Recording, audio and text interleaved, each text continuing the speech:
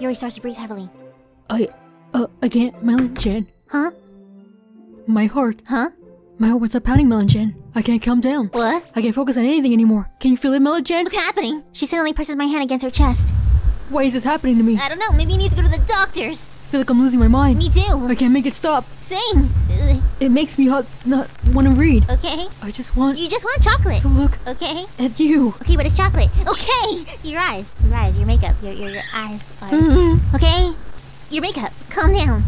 Uh, Dude, it was just chocolate. Do you not like dark chocolate? Are you allergic? uh, white chocolate, maybe? Can we read the book, please? Calm down. Um, it's time to share poems?